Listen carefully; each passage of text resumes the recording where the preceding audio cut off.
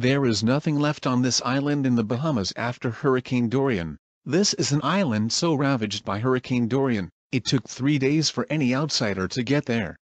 Now Man O' War Cay, once an idyllic cabin in the northern Bahamas, is a giant pile of rubble.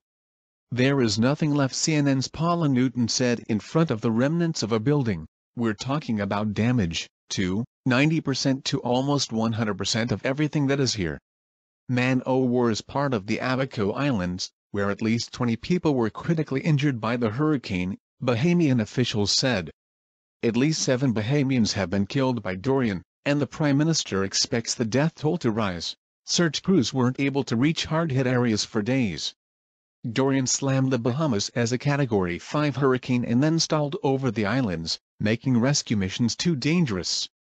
Even now, going door to door to look for survivors isn't an option because in many places, there are no more doors. There are no more homes. Paul text for Speech News.